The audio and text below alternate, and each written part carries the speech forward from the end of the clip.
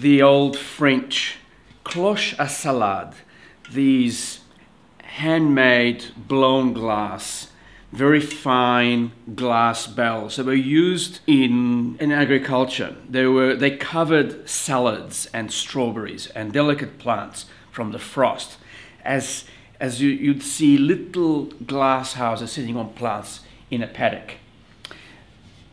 The farmer would stack them in the shed in the summer months. These in origin had a knob, a glass knob, that was knocked off with a hammer, so you could stack 20 up.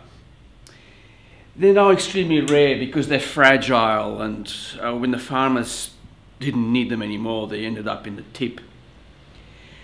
And they show the signs of the wear and tear.